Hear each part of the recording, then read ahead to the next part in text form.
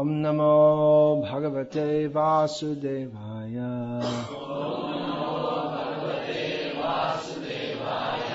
ॐ नमो भगवते वासुदेवाय ॐ नमो भगवते वासुदेवाय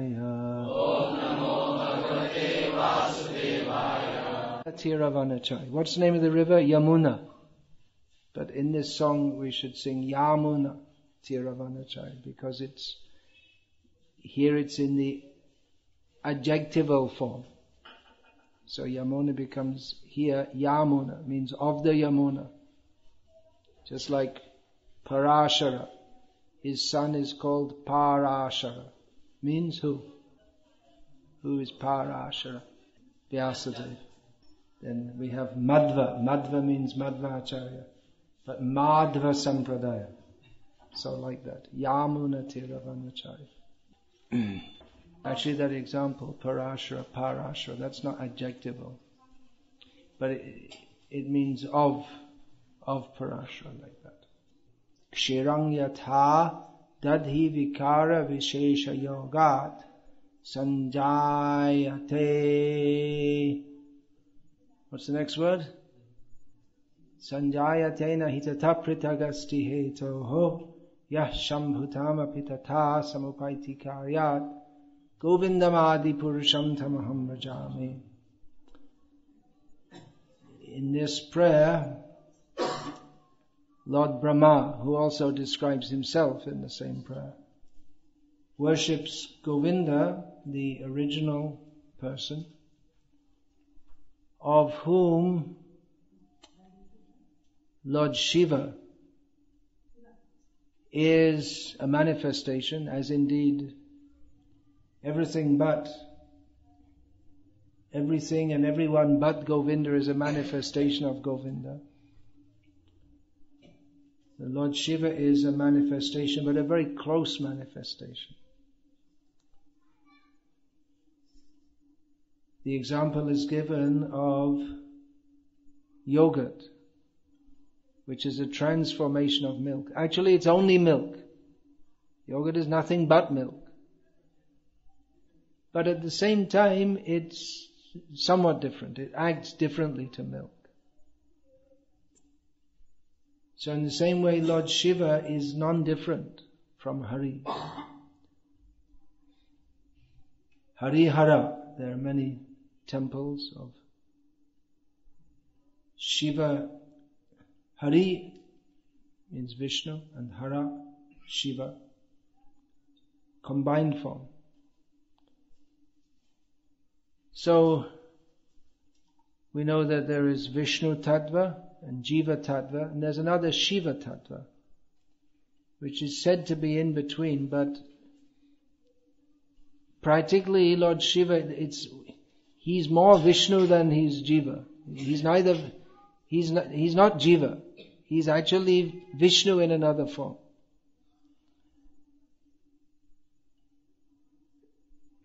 there are many statements in Shastra that Shiva and Vishnu are the same. They're never there. We don't find any Shastra that Shiva and Jiva are the same, except some nonsensical Jivas go around saying Shiva Shivoham, I'm Shiva, but they're not.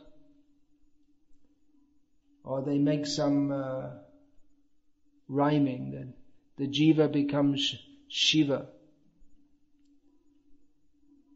But Lord Shiva, he's Vishnu in another form.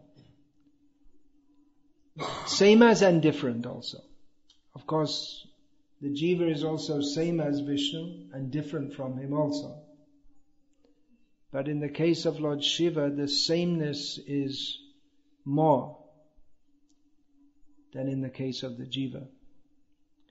He's well known as Parameshwar, Mahadev, which are all actually names of Vishnu. And these names are not inapplicable to Lord Shiva also. However, he's not Parameshwar in the sense that Krishna is Parameshwar. He's particularly Parameshwar within Devi Dham in the Brahma Samhita, from which the verse we just quoted, this material world is referred to as Devi Dham. The Devi Dham, Mahesh Dham, and Hari Dham are referred to therein. So within this material world, Devi, Durga, she has so many names also. Any important people, they have many names. So Lord Shiva has many names. His wife has many names. We don't have many names. so she is the boss here. She controls the household. The woman is the Griha Swamini. So the whole material world is Devi's household, but her, she is Ishvari within this material world. She's also known as Maheshwari, Mahadevi. She's commonly known as that. And Lord Shiva, she, he is her husband, so he's known as Parameshwar of Parameshwari. She's known as Parameshwari. Actually, Radha is Parameshwari. But Durga is a, an expansion of her, of Radha. And within this material world, for persons whose vision does not go beyond Devi Dham, then for them certainly they will see Parameshwari. They'll see in the ultimate sense. There is no one beyond Shiva and Parvati. And thus they worship them as supreme. Which is not incorrect to, it's not incorrect to consider Shiva and Parvati as supreme, but it's not fully correct. Or in another sense, it's incorrect also. This may sound contradictory. Well, Shiva Tattva is apparently contradictory, just like yogurt is contradictory, it seems. That it's milk, but you can't use it like milk. If you can't make this uh, payasam, dugda payasam, you can't make it from dadhi. It doesn't work. You can make uh, curd rice. It's very popular here, but curd rice and rice cooked in milk, it's, it's a different product altogether. Both are very tasty, no doubt. And healthy in moderate quantities. Actually, you can take more curd rice than rice cooked in milk. Uh, but they're different. So Lord Shiva is very mysterious. His name is Shiva, which means auspicious. But it seems that everything he does is inauspicious. He's, he associate, he's, uh, associates with the, he's known as Bhutanath, Pashupati, the Lord of the ghosts, Lord of the animals. Of course, Krishna, he's also known as Pashupati again, all these names of Lord Shiva, they're all names of Krishna actually, but they just have to be understood in context. Or rather, all the names of that are used by Shiva, they're actually, he's borrowing attributes from Krishna, or endowed with attributes from Krishna. No one is independent of Krishna. Ekali Ishvara. Krishna, Arasabha Bhritta. There is only one actual controller and all others are, that is Krishna, and all others are his servants. So Lord Shiva is very mysterious. He doesn't look auspicious. He's covered in ashes from the samshan, the burning ghat, smashan. And uh, he has a garland of skulls that's not very auspicious. Doesn't seem to be very auspicious. Uh, Well, for anyone else that would render them inauspicious, but Lord Shiva has a very unusual purpose to perform, which is to uplift the people of this material world. He's known as Pashupati. Everyone in this material world is Shvavidvara Hostra, Shvavidvara Hostra Karai. Everyone in this material world is uh, likened to a dog, a pig, a camel, or an ass. Because uh, they do not worship Krishna. They don't glorify Krishna.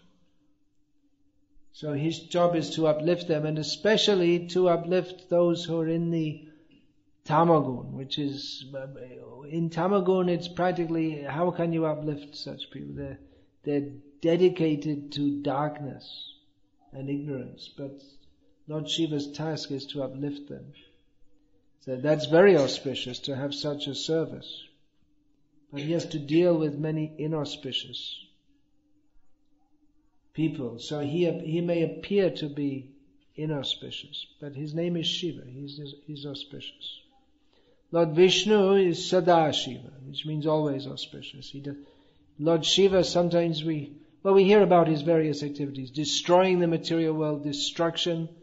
That is also, uh, in this material world, destruction, this just like wanton violence, one of the symptoms of Kali Yuga mentioned in Srimad Bhagavatam. Vridha hingsa, just meaningless violence. In the Western countries, that's quite common. People who are called vandals, they just go and smash something up for no reason. They'll just break a car to pieces. Of course, in India it's quite common, but it'll be in protest. We want Telangana or something like this.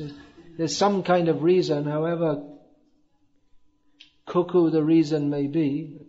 Whoops, I might get beaten up by the Telangana Vadis for saying that. But uh, there's some kind of reason. But in the West, there are people.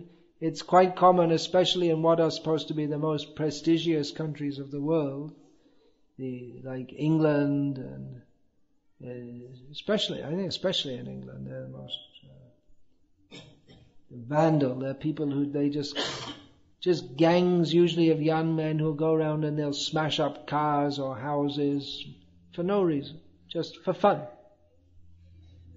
They find it pleasurable. So this, this meaningless violence or destruction, that is a symptom of tamagun, the mode of ignorance. The, the mode of ignorance manifests in two principal ways. One is inertia, lethargy. Who's translating? You know all these words, what they mean? I hope you know. Inertia means like stabda, not just you can lie down 24 hours a day and just literally means non-movement. Lethargy means a state of laziness. Procrastination, there's another big long word for you, means always putting things off. Just not, you have work to do, uh, I'll do it later, I'll do it later, I'll do it later. This, tamagun. So that's one manifestation of tamagun. Another manifestation is uh, just uncontrolled anger and and uh, extremely nasty violence and causing harm to others, taking pleasure in others, giving pain to others and taking pleasure in it. This is a, this is another, it's another manifestation. It's a more active manifestation. But active, but not in Rajagun, but in, this is Tamagun.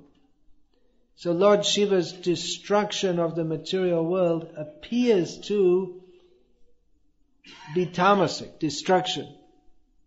Actually it's not. He is known as the overseer of Tamagun, but he is not tamasic. He's not influenced by tamagun, although it, it may appear that he is so. Therefore, Jiva Goswami in his Sandarbhas states that both Shiva Tattva and Guru Tattva, these are both very difficult to understand. Because both of them are in one sense Vishnu. Sakshad Dharitvena Samasta Shastra Ukta. All the Shastras say that the Guru is God. He is Hari directly. But there's difference also. And it's just a matter of how, of one's perspective. Acharyang mang vijaniyam navamanyeta karhichit. Lord Krishna tells Uddhava that you should see the Acharya as me and never disrespect him in any way. So it's difficult to understand when you see, well, he walks, he talks, he sleeps, eats, looks like an ordinary person to me. But Krishna says no. He is God in human form. So Lord Shiva also, he is Vishnu. There's difference also. If we only emphasize the oneness of Guru with Vishnu or Shiva with Vishnu, that is a misunderstanding. But on the other hand, if we think that he's any less, that's also a misunderstanding. So the, these two points are difficult to understand. They cannot be understood by mundane logic. We pray Nama Om Vishnu Padaya. So Vishnu Pada, this means who is at the lotus feet of Vishnu, but it also means one who is on the same platform as Vishnu. One who's of the same status. So it's very difficult to understand. It's, it's not uh, understandable by mundane logic. Lord Shiva is non-different from Vishnu differences there. He appears to be uh, affected by tamagun, but we should understand that he's not actually affected, even though he may become very angry, which appears to be uh, a symptom of tamagun. We actually find that in Bhagavatam. The description of Bhrigu Muni, Bhrigu Muni wanting to resolve the question who is supreme among the three murti? We often hear this in Hinduism. Brahma, Vishnu, Mahesh, the Holy Trinity. In, I think in Catholicism, I don't know if it's in Greek Orthodox. Is it in, in Russian Orthodox? Do you know they have that? The Holy Trinity? They have that also. Maybe in the Protestant speculation also. They have the Holy Trinity. So in Hinduism they have Brahma, Vishnu, Mahesh. Different Trinity. So who is supreme? Bhrigu Muni went to test. First of all, Lord Shiva and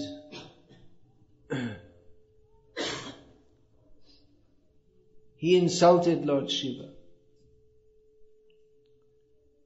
When Lord Shiva came to embrace him, oh, you're my brother, because they're both mind-born sons of Brahma. Brahma. So Bhrigu said, hey, don't touch me. Here, here, here I go. Here, all this ashes from the burning place on your body you know, keep away. And Shiva became very upset and wanted to kill Bhrigu. So, fortunately, uh, Durga restrained him, restrained Lord Shiva and said, uh, just calm down.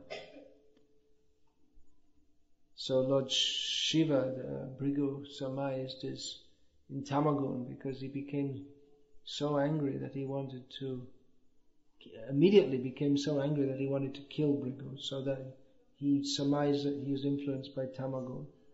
And Brahma, because Bhrigu, when he went to see Brahma, he failed to offer respect.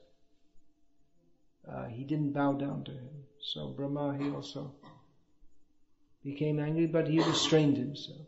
But when he made the, the, greatest insult to Lord Vishnu by placing his foot, Bhrigu's foot, upon the chest of Lord Vishnu, Lord Vishnu not only was not upset, but he apologized to Bhrigu that I hope you didn't hurt your foot by placing it on my chest. I'm very fortunate to have your foot on my chest. So in this way, Vishnu, he demonstrated the uh, proper behavior for a Vaishnava.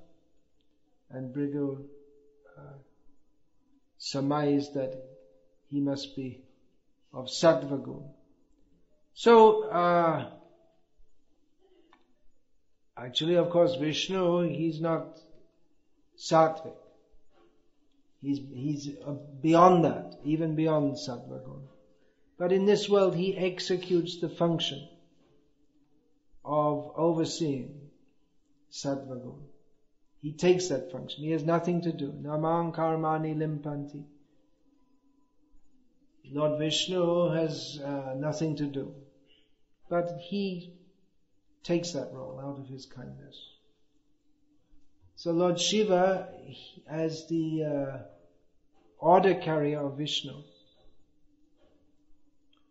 he uh, takes charge of Tamagun and the acts of destruction.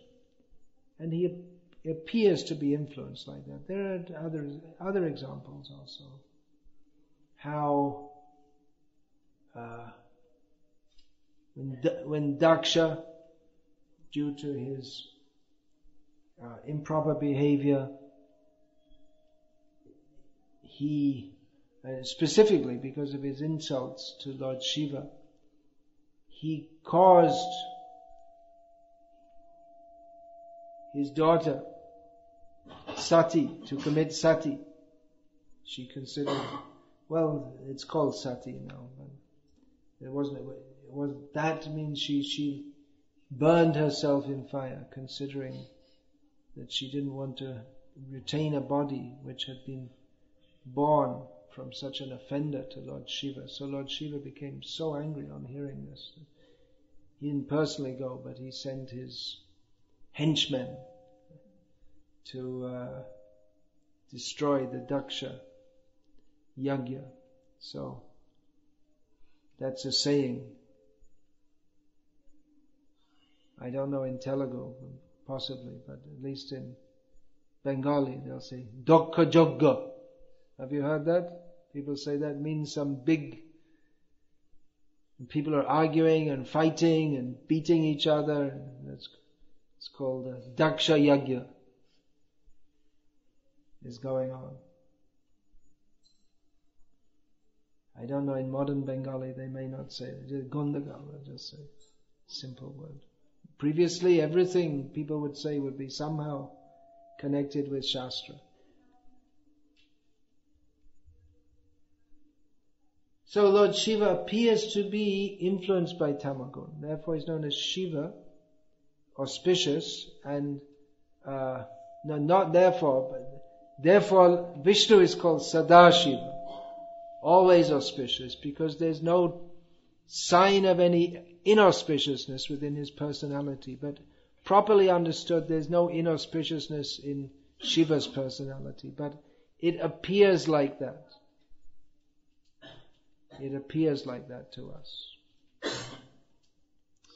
He's a great personality. We uh, offer him all respect. Uh, in two ways, he's a great personality.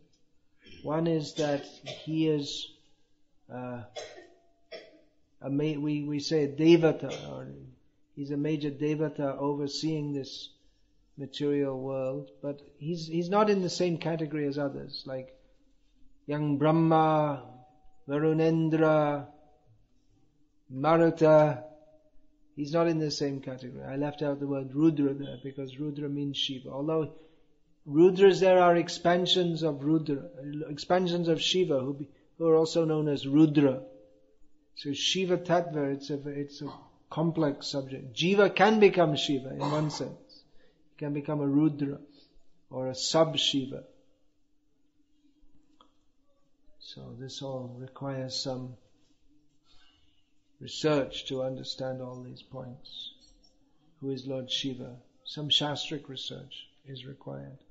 That should be done in the Vaishnav manner, through the Vaishnav acharyas, because it's uh, it it may be misunderstood by people whose vision is material. They understand Shiva to be supreme. In fact, in Shiva Puran it states that Shiva is supreme, and Vishnu and Brahma are subordinate to him. There's the well-known story of Vishnu and Brahma arguing over themselves who is supreme. Vishnu claiming himself to be supreme, and Brahma claiming himself to be supreme.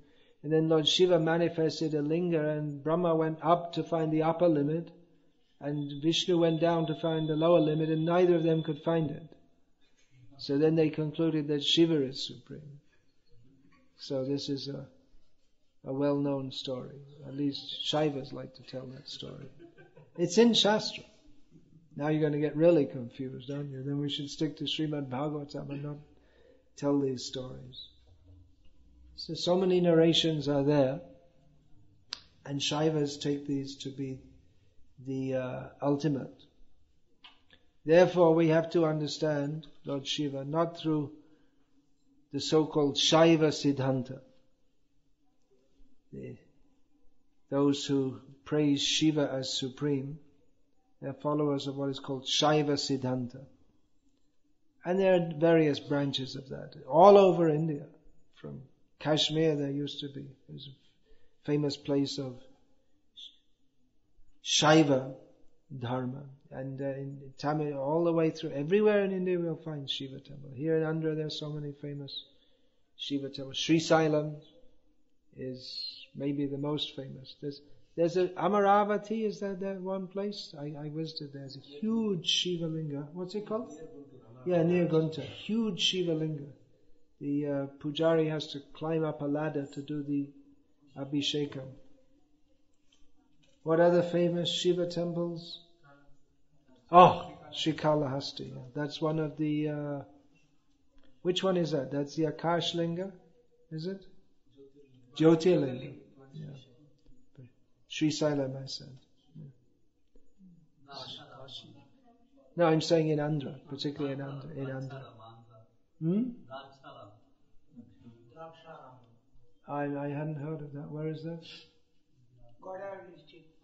Uh-huh, that's another. Is that where they have the uh, Kumbh Mela, the, the Andhra equivalent? No. See, there's so much culture in all of India. So the, anyway, the Shiva culture is there all over India. Everywhere we'll find so many places uh, dedicated to Lord Shiva. In Tamil Nadu, there's the, the yeah, there's so many places in, in Tamil Nadu. Not only, not only Rameshwaram, so many. There's Chidambaram and there's uh, Tiruvannamalai, there's a huge Shiva temple. Chid, uh, Chidambaram, I said, uh, Madurai, actually that's, uh, that's a Devi, Devi Mandir, that uh, Meenakshi. But there's also Sundareshan. The, somehow or other it's known as Meenakshi temple.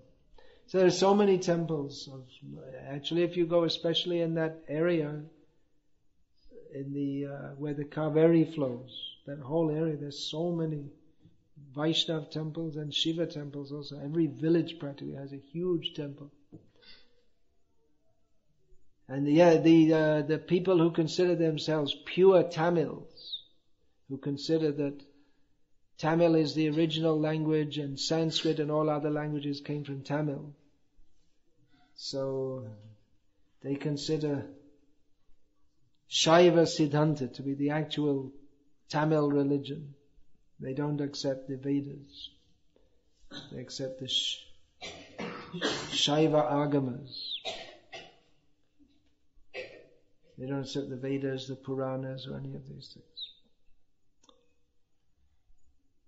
So yeah, there's, uh, it can be very confusing, but we accept Srimad Bhagavatam as the Srimad Bhagavatam Puranam Amalam, because in this Srimad Bhagavatam, there's no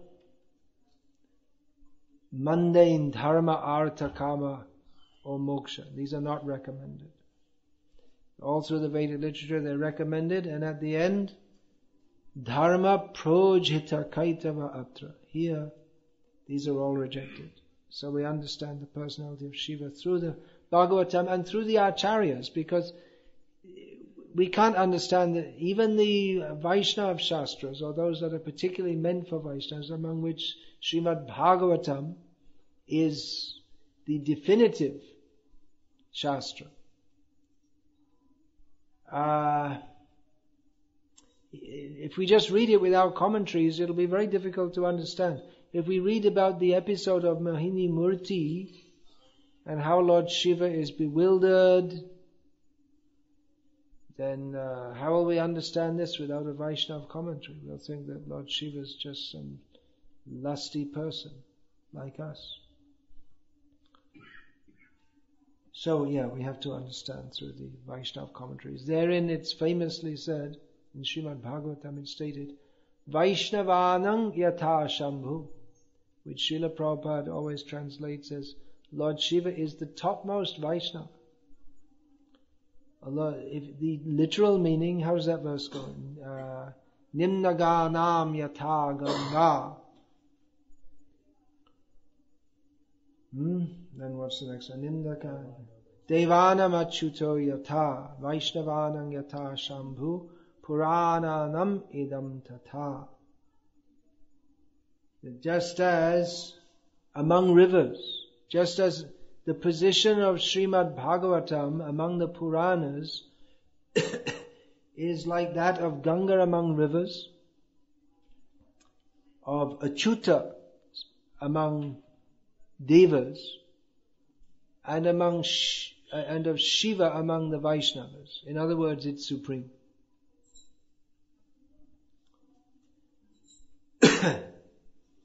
Srimad Bhagavatam is the supreme Purana. Ganga is the supreme river. Achuta, Hari, Vishnu, Krishna is the supreme among all the gods. And among the Vaishnavas, Lord Shiva is supreme. So sometimes it's asked, why is...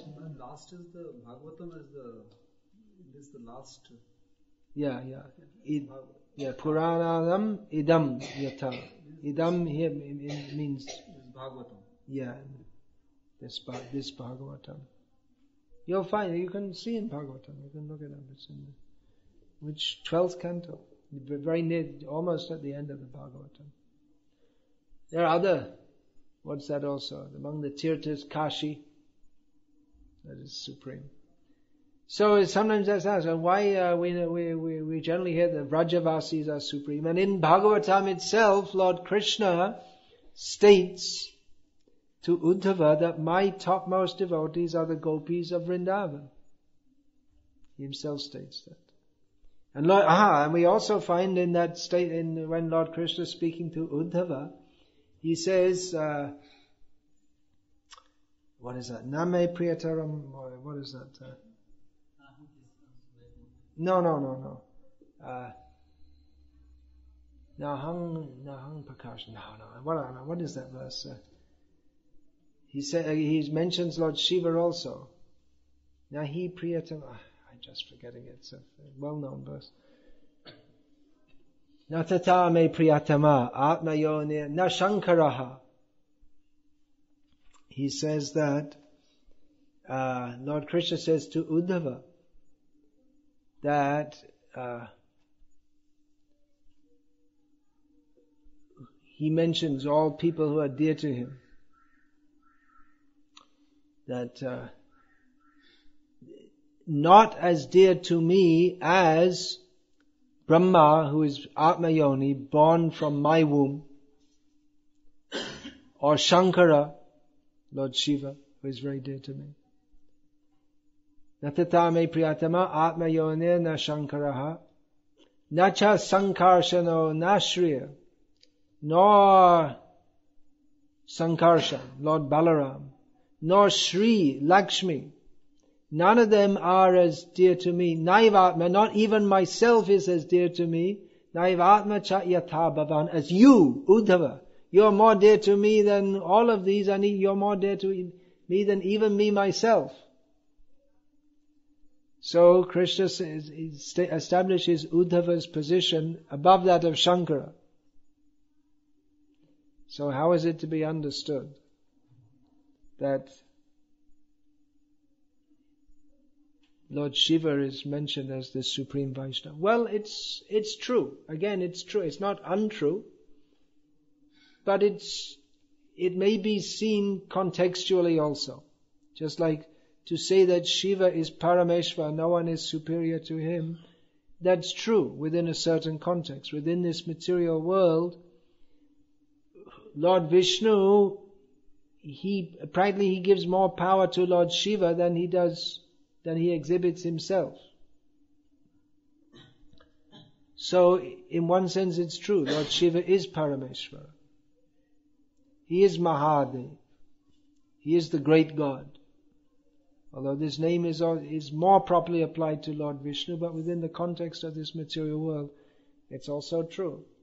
Shankara, what does that name mean? He who makes auspiciousness. He's not only Shiva, but he makes auspiciousness for others. So how is that possible? He makes auspiciousness for others when he's got the ashes from the crematorium. He's always, uh, he's always absorbed in thought of Krishna. The ashes from the crematory that cannot pollute him that uh,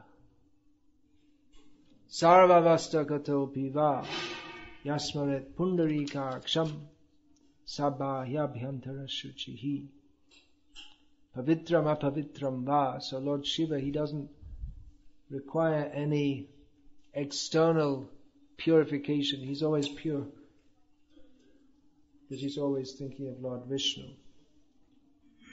Apart from that, uh, Mahadeva Panchamukhe, Rama Rama Hare Hare, with his five heads. Often he exhibits five heads. He's chanting Rama Rama, Rama Rama. Rama Rameti Rameti, Rame Rama, Manorame. Sahasranama Tulya Abhis, Rama Nama Varanane. He also says to Lord, to uh, Devi, Varanana, beautiful faced Durga, that I get such pleasure. I get such pleasure, he says, from chanting the name of Rama. It's such bliss. Equivalent to a thousand names of Lord Vishnu is one name of Lord Rama. So this way he makes auspiciousness for others by chanting Ramanama. People go to Varanasi to die.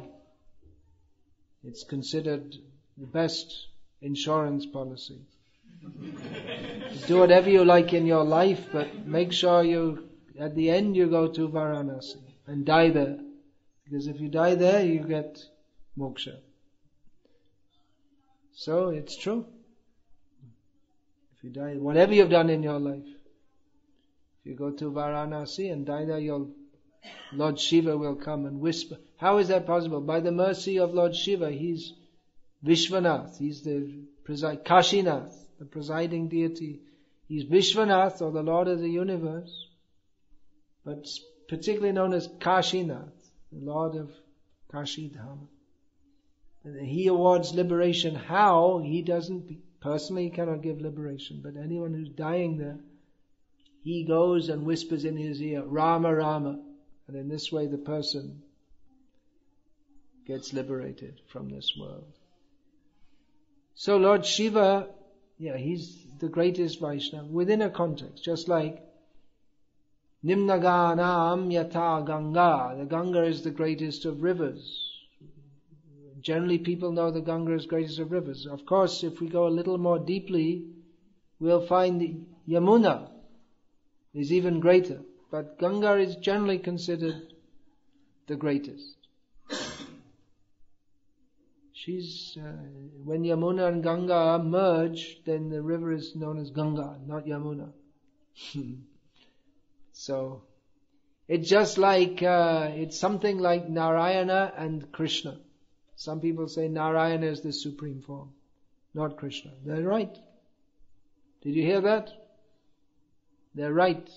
Narayana is the supreme form, not Krishna. They're right from one perspective. If, if we look from the perspective of manifestation of opulence and power in terms of godness, or what, what is generally considered to make one God, Narayana is supreme. But Chaitanya Mahaprabhu's uh, estimation is Madhurja Bhagavatasa, the essence of Godness, or what makes God God is His sweetness. So then Krishna is supreme. It's a matter of tattva vichar or rasa vichar. If we see from the purely philosophical perspective, Narayana is supreme. Maybe. We don't agree with that either, but it's acceptable to say that. It's one perspective. From, from the perspective of rasa, Krishna is supreme. So Ganga is supreme, Yamuna is supreme among rivers. Yamuna is supreme because Krishna has his pastimes there, and Ganga, she's supreme. That's also another name of Lord Shiva, Ganga Dha, Gangeshwara, who holds Ganga on his head, who controls Ganga. No one else can control her. See, Lord Vishnu wasn't asked to do that. Lord Shiva was asked to do that. Only he could do that. Hold the force of the Ganga coming down. Of course, Ganga is flowing through Mayapur also as Bhagirathi. So the whole Leela of bringing Ganga to earth is actually just the real point, which most people have no idea about, is to facilitate the pastimes of Chaitanya Mahaprabhu. And Ganga in this way becomes most auspicious. She's coming from the feet of Lord Vishnu. She goes on the head of Lord Shiva. He holds the water coming from Vishnu's feet on his head. And then goes through all the tirthas and Lord so many, everywhere on the bank of the Ganga is a tirtha, but some places are especially known as tirthas. And then in Navadvip, just before she enters the sea, Chaitanya Mahaprabhu plays in her waters. All the tirthas come to offer their service to Chaitanya Mahaprabhu. All the tirthas along the Ganga. So in this way, Ganga is considered supreme among rivers. But the, if one has more insight, you'll see Yamuna as supreme. But then again, Ganga becomes supreme by the grace of Chaitanya Mahaprabhu. That's hidden, hidden understanding. So in the same way, uh, Lord Shiva is supreme. He is Param. Vaishnavanang Yata Shambhu. But in spiritual, in the realm of spiritual reality, there's supreme and there's something more also. More and more. So in the same, Srimad Bhagavatam is supreme among the Puranas. But then, uh, very secretly, the Gaudiya Vaishnavas, they may find the essence of the Bhagavatam in Chaitanya Mahaprabhu's pastime, Chaitanya Charitamrita. or other works of the Goswamis which are non-different from the Bhagavatam.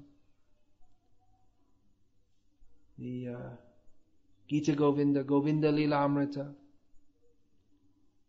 They may be even more essential. Ujvala Nilamani. They may be even more essential than Bhagavatam. Although, again, it's very secret topics. The very gist of the Bhagavatam, what the whole Bhagavatam leads to is, is the topics which are given by the Goswamis. So, uh, Lord Shiva is the supreme Vaishnava, but there's more supreme also. And that doesn't mean he's any less. There's no material distinction. All the, all the devotees are very dear to Krishna. Lord Shiva is the most influential person in the world today. Tamagun is very strong.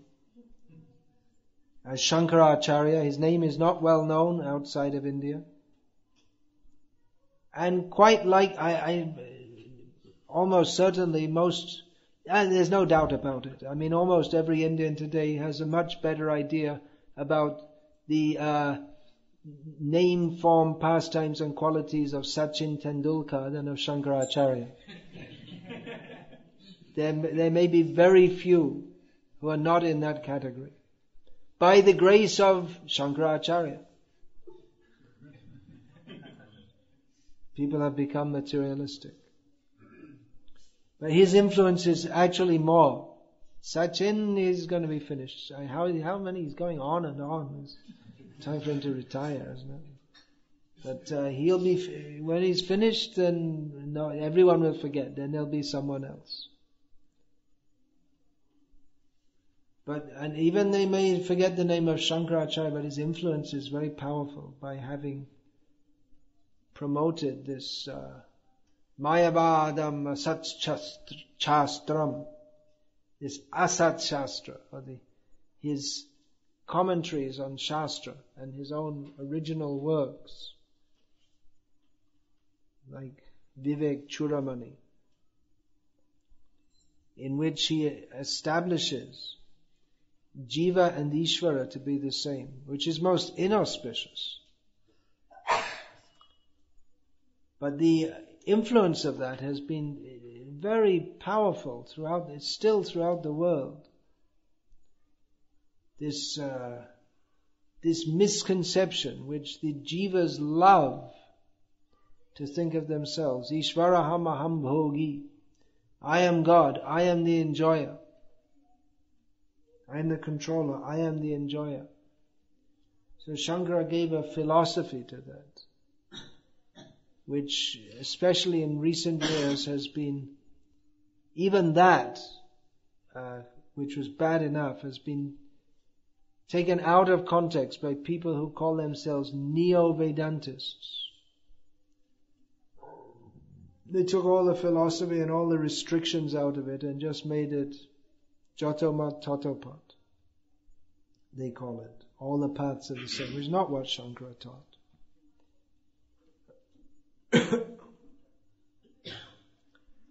and so in the modern age we have you know, all kinds of ridiculous people claiming themselves to be gurus and so many bhagavans and so many so-called avatars. This neo-Vedanta, as it's the the final rotten fruit of this Advaita Vedanta. So his influence has been very powerful in uh, spreading tamagun, in apparently in the form of sattvagun.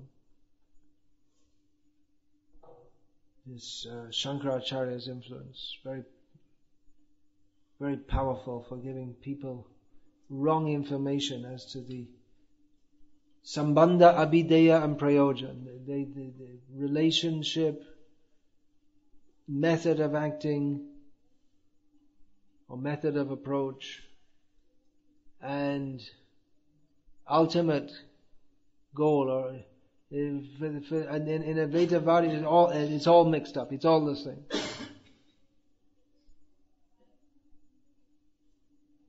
Drashta, Darshan, Drishya, the seer, the seen, the, the act of seeing. It's all, it's all the thing. Gyan, Gyata, Gya, knowledge, the object of knowledge and the knower, it's all the same according to them. So, which is ridiculous. It's just ridiculous. But that's tamagun. Tamagun means that what is that? Tamotva jnana jang vidhi. In Bhagavad Gita, Lord Krishna states that from tamagun, tamaguna, actually, I should say tamaguna is more correct pronunciation. The uh, from that comes ignorance. So the whole material world is the place of ignorance. Lord Shiva is overseeing that, and this this Mayavad or Kevaladvaitavad in its various manifestations uh, increases the ignorance of which is the, the tamaguna which is uh, particularly prominent in Kali Yuga. So Shankaracharya came to propagate that. So he's very powerful. And we can pray to him for his mercy to be free of this misconception. Vaishnavas, they may perform Shivratri Vrata, fasting, staying awake all night. It's mentioned in Hari Bhakti Vilas, the guidebook for all Vaishnavas. Interestingly, Radhashtami is not mentioned there. Shivratri is mentioned, but it's optional for Vaishnavas and mostly uh, in Gauriya Sampradaya. Uh, well, it's it may according to different uh, some Gauriyas may follow that also, but generally we don't see it's followed. Generally, all Hindus, pious Hindus, they'll follow this Vrata, but they don't know why they should please Lord Shiva. They have a misconception of who he is. So it may be followed. Uh, it's not compulsory. Vaishnavas, they see Lord Shiva in a different way to the way that general Hindus do. They see him as a dispenser of mundane boons, but Vaishnavas see him as a great Vaishnava to be worshipped. So I'll finish there. If anyone has any questions, it's a difficult topic to understand Lord Shiva. Yeah, what's your question, please? The question is, um, what is the significance of the Shiva Linga when we have information from the Shastra about the personal form? We have information of the form of Shiva. Yeah. Why is Shiva Linga worshipped? Well, that's his uh, function in the material world, isn't it? That we find. Uh, Aham bija pradapita. That's mentioned in Bhagavad Gita. Lord Krishna says, I am the seed-giving father of all living beings.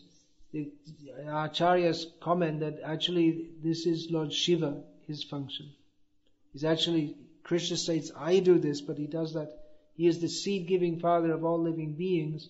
That's actually Lord Shiva. From his uh, copulation with Parvati comes this, uh, come all living beings. So he's worshipped as the father. Um, Vaishnavas may also worship, this form, but we find that in uh, Gauriya temples, where there are deities of Lord Shiva, there are some here and there. Uh, they're mostly in the form of a deity of Lord Shiva. Now in the Jogpit in Mayapur, we'll find there are two Shiva lingas there. They were established by Bhaktivinoda Thakur at the birthplace of Nimai. They were established there in, in much the same way as we have uh, Dhameshwar, Mahadev, Chakleshwar, Bhuteshwar. There's one other, there's four in Vraja, the, the linga forms of Lord Shiva who are worshipped by Vaishnavas. They'll, they'll come and uh,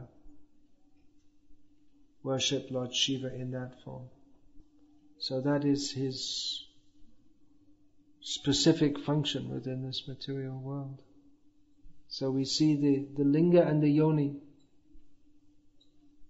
Although, uh, as someone pointed that out to me recently, it's not really, it's known, it's understood, but, and, uh, but most Hindus won't talk about it, they, they don't discuss it, they don't consider it obscene. It's only uh, Christians or someone, they'll consider it obscene.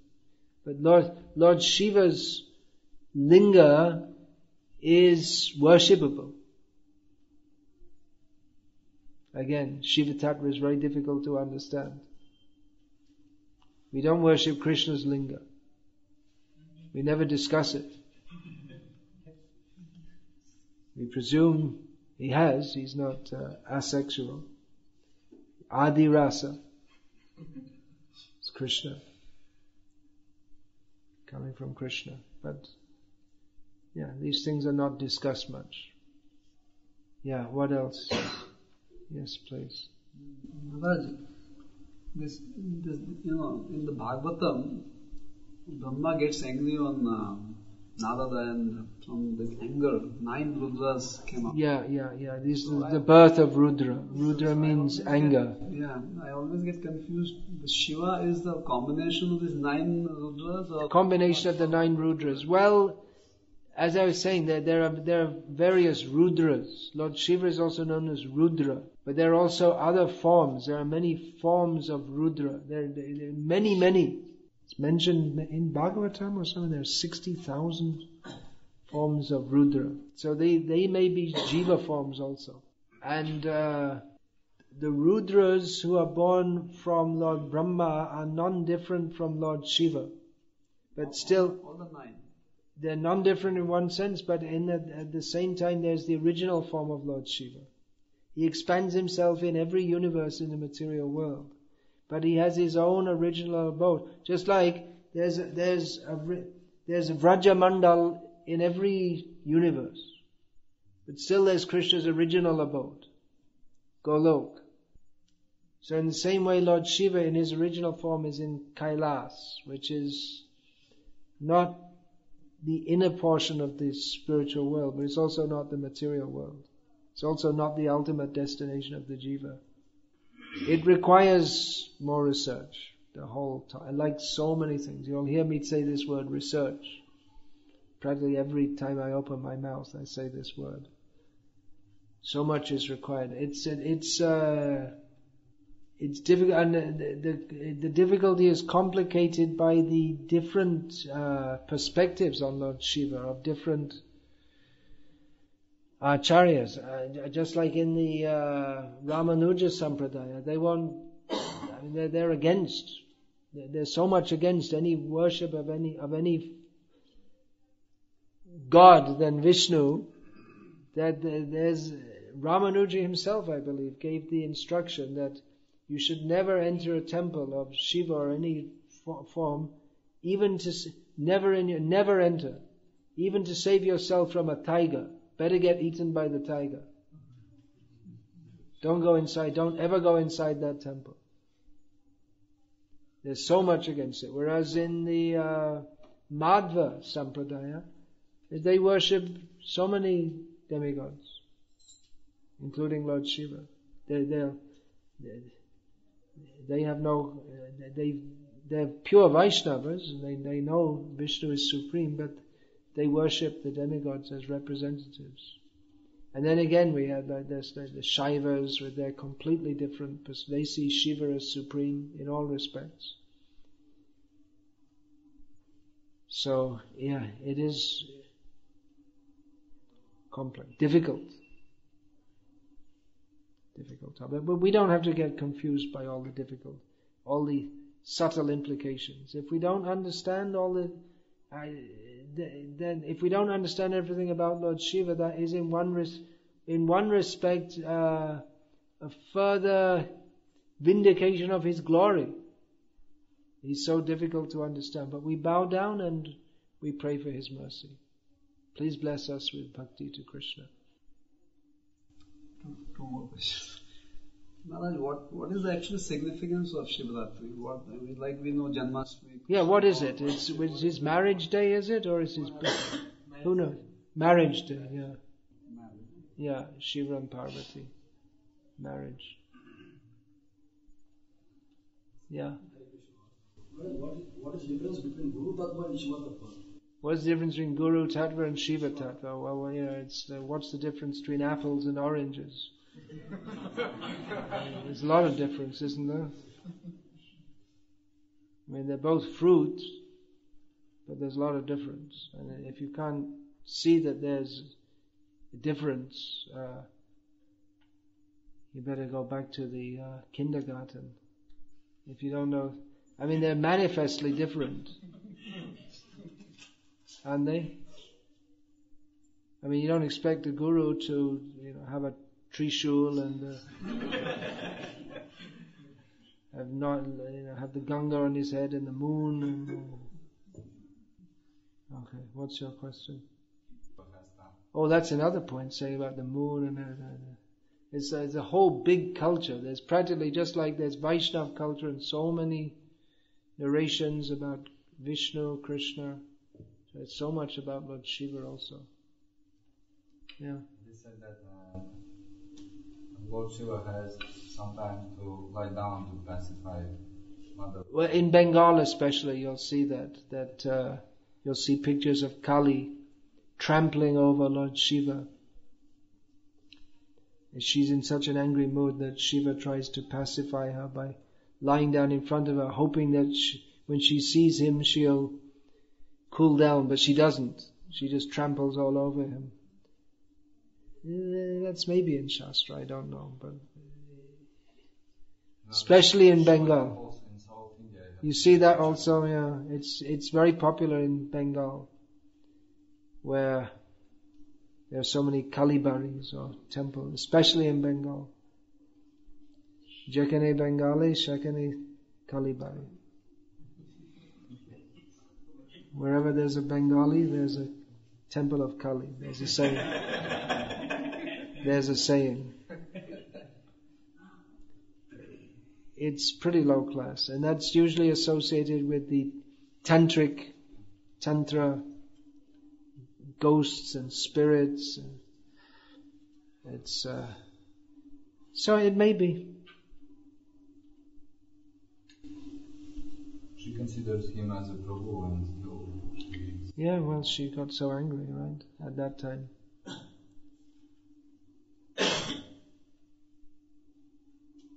You find in Bhagavatam, Sati didn't follow Shiva's order. She got a lot of trouble by doing that. Okay, well.